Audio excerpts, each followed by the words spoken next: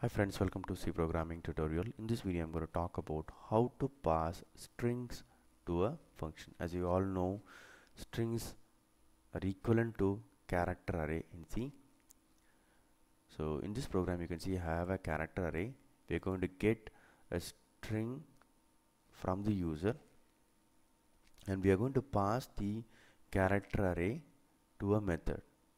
You can see here character array to a method and we are going to print it. Actually uh, the strings are uh, equivalent to a character array. And if you want to pass a string to a method it is like passing an array to a method. Passing an array to a method. So we are going to get an array and passing an array to a method. It is equivalent. Say suppose you have an integer array passing an integer array to a method it is similar to passing strings to a method okay? So let me run the program for you. So I'm going to enter something. So it is printing in this user defined method. Hope this video is useful. Thank you